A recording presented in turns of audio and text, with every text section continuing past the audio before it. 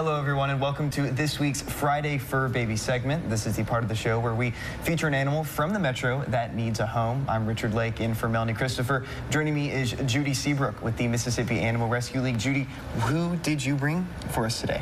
Today I brought Becca. I think she's probably part collie. Her coloring is like a collie. Sure. She's a stray that we found, and we wished we knew her story because Mm-hmm. she's just a wonderful dog. Just a wonderful dog.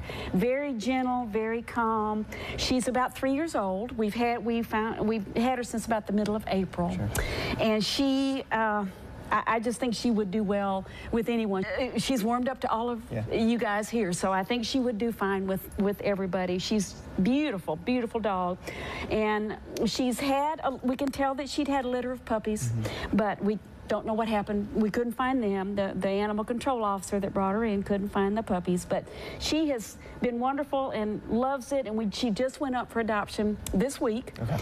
and tomorrow she will be at the Makers Fest, which uh, MARL will be there tomorrow from 11 to 2 with six or seven animals for adoption. We invite everybody to come by. It's downtown at the um, museums, Civil Rights in Mississippi History Museums.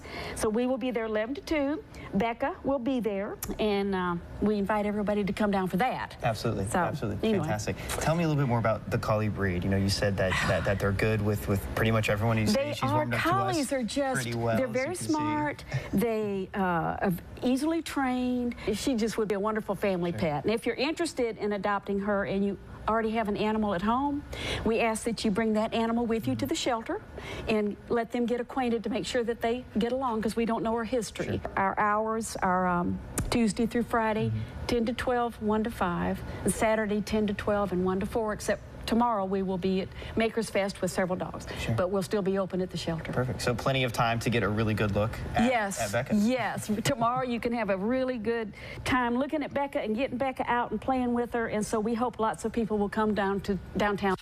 Now to an update. Remember Flop? She was previously featured on Friday Fur Babies. Well, she's been adopted by the Oliver family. Thank you for adopting. And a big thanks to Judy Seabrook with Marl. Be sure to tune in tonight at 10. We'll be showcasing three more animals. That's this week's Friday Fur Babies.